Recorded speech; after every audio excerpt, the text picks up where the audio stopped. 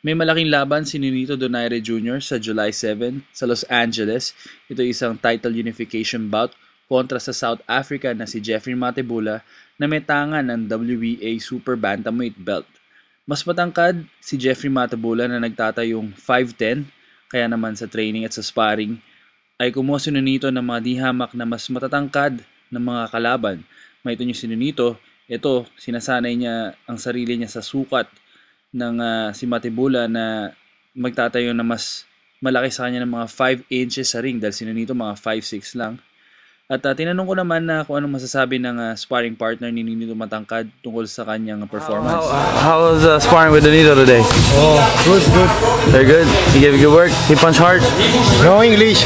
Ah, okay, okay. It's okay, man. Okay. Yes, yes. Eh, yun nga lang. Marami pa sana tayong natanong kaso hindi pala nakakapag-English.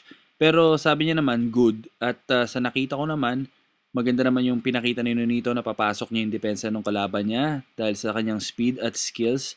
Pero itong si Matthew Bula ay hindi biro, no? Ang amateur background niya, 101 wins at apat lang natalo. At isa rin siyang Olympian noong 2000 na Athens Olympics.